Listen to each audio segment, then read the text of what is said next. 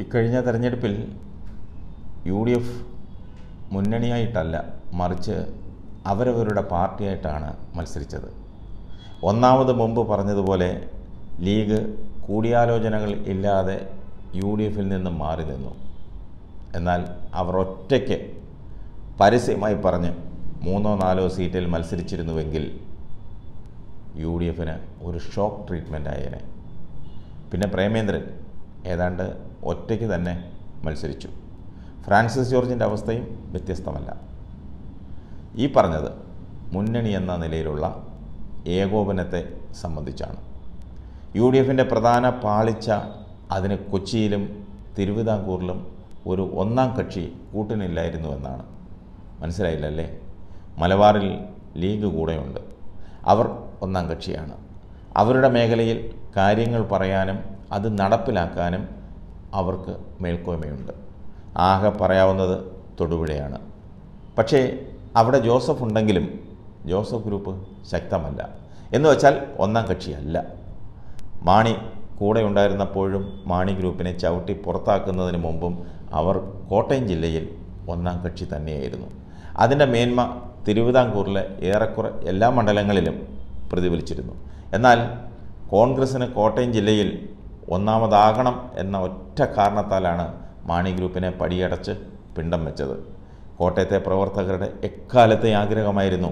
അത് സാധിച്ചു. അപ്പോൾ മറ്റ് ജില്ലകളിൽ അത് പ്രതിഫലിച്ചു. ഇതൊന്നും അറിയാൻ പാടില്ലാത്തവരല്ലായിരുന്നു കെ കരുണാകരനെ പോലെയുള്ള നേതാക്കൾ. വെറും ഒൻപത് പേരെയും കൊണ്ട് ഒരു രാഷ്ട്രീയ പാർട്ടിയെ പടുത്തുയർത്തിയ കഥ ലീഡർക്ക് മാത്രമേ അറിയൂ. അദ്ദേഹത്തിന്റെ പുറത്ത് കയറി നിന്ന് ചവിട്ടുനാടകം കളിച്ച പഠിച്ച പിള്ളേർക്ക് ഇതൊന്നും അറിയാൻ സമയമില്ല. യു ഡി എഫിന് സംഭവിച്ച ഏറ്റവും പ്രധാന പ്രശ്നം തെരഞ്ഞെടുപ്പ് പ്രഖ്യാപനത്തിന് ഏതാനും ദിവസം മുമ്പ് നടത്തിയ പുതിയ പാർട്ടി ഭാരവാഹികളുടെ വാഴ്ച തന്നെയാണ്. ആരെങ്കിലും ചെയ്യുന്ന പണിയാണോ? പ്രവൃത്തി പരിചയമുള്ളവന് അതിന് അവസരം കിട്ടിയില്ല. പ്രവൃത്തി പരിചയമില്ലാത്തവൻ നേതൃത്വം ഏറ്റെടുത്ത് എന്ത് ചെയ്യണമെന്ന് പോലും അറിയാതെ അത്ഭുത പരതന്ത്ര കുതന്ത്രനായി നിന്നുപോയി. ഒരു പാർട്ടി അതേതുമായിക്കൊള്ളട്ടെ. ഭാരവാഹികളെ നിശ്ചയിക്കുന്നതും അവർക്ക് പരിശീലനം നൽകുന്നതും ഭാവിയിൽ നടക്കുന്ന തെരഞ്ഞെടുപ്പിനെ മുന്നിൽ കണ്ടും തന്നെയാണ്. ഇത്രയും കഷ്ടപ്പെട്ട് ഒരു ഭാരവാഹിയെ പരിശീലിപ്പിച്ച് കൊണ്ടുവന്നിട്ട് തെരഞ്ഞെടുപ്പിന് തൊട്ട് തലേന്ന് മാറ്റി മറ്റൊരു ഒരു പ്രവൃത്തിയും പരിചയവുമില്ലാത്ത ആളുകളെ പിടി തെരഞ്ഞു പിടിച്ച് അവിടെ പ്രതിഷ്ഠിച്ചു. ഭാരവാഹി മാറ്റം പ്രാവർത്തികമാക്കണമായിരുന്നുവെങ്കിൽ ആദ്യം ചെയ്യേണ്ടിയിരുന്നത് കെ പി സി സി പ്രസിഡന്റിനെ മാറ്റുക തന്നെയായിരുന്നു.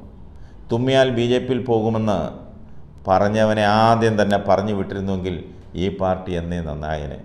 പിന്നീട് സ്ഥാനചലനം നൽകേണ്ടിയിരുന്നത് യു ഡി എഫ് കൺവീനർക്കാണ്. ഇതുപോലെ കാലഹരണപ്പെട്ടവർക്ക് എന്ത് പ്രസക്തിയാണുള്ളത്? ഒന്നാമത് യു ഡി എഫ് കോൺഗ്രസിന്റെ ഉപകമ്പനി അല്ലെന്ന ബോധ്യം കോൺഗ്രസ്സുകാർക്കുണ്ടാവണം. എൺപതുകളിൽ യു ഡി എഫ് തുടങ്ങുമ്പോൾ പി ജെ ജോസഫ് ആയിരുന്നു കൺവീനർ കുരങ്ങൻ അപ്പം പങ്കിട്ട പോലെ പങ്കിട്ട് പങ്കിട്ട ആ സ്ഥാനം കോൺഗ്രസ് അടിച്ചെടുത്തു. തെരഞ്ഞെടുപ്പ് കാലത്ത് തെരഞ്ഞെടുപ്പ് കമ്മിറ്റികൾ രൂപീകരിക്കും. ഇത്തവണ കോൺഗ്രസ്സിലെ ഇരു ഗ്രൂപ്പുകളും മാറി മാറി ഓരോ വാർഡിലും മണ്ഡലത്തിലും പ്രസിഡന്റുമാരായി. എന്തുപറ്റി അവർ തമ്മിൽ അതായത് കോൺഗ്രസ്സുകാർ തമ്മിൽ കൂടിയാലോചന നടത്തി അവർ തനിയെ നടത്തിയ തെരഞ്ഞെടുപ്പായി.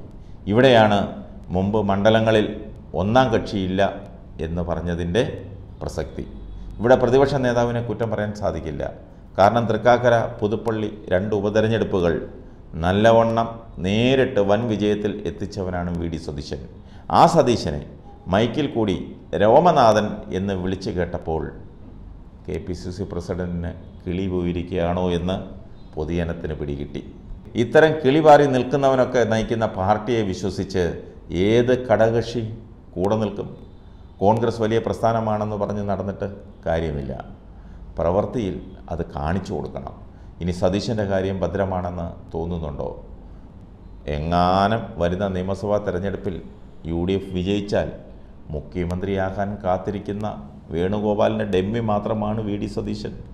മുഖ്യമന്ത്രി സ്ഥാനം മാത്രം നോക്കി കളിക്കുന്ന പത്തോളം നേതാക്കന്മാരാണ് ഇന്ന് കോൺഗ്രസ്സിലുള്ളത് അവരുടെ കഥ നാളെ.